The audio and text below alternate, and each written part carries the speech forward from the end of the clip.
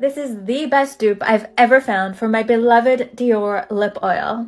If you've been following me for a while, you know that to me, the Dior lip oil is like a religion. I've basically spent my kids' college funds on lip oil. The luxurious doe foot applicator, the hydrating formula. There is no denying that this is a stunning lip product but it comes with a very hefty price tag. After all the years of spending my family's life savings, I have found a drugstore dupe. We have a luxurious doe foot applicator, a hydrating, nourishing formula. It's the same thing. It's the exact same thing. It's the new CoverGirl Clean Fresh Yummy Gloss.